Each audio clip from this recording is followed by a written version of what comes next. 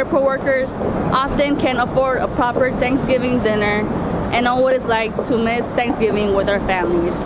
However, we respect families traveling to be together, and that is why we're holding off our strike until after the Thanksgiving holiday. Airport workers like me, who work hard to provide for our families, shouldn't have to live paycheck by paycheck and that is why I voted to strike. These workers care about their passengers. It was never their intent to disrupt uh, disrupt them or their operations. It is their intent to bring light to these uh, conditions that they're working under, um, to these you know egregious violations by their contractors, and they really want to have the public uh, support them.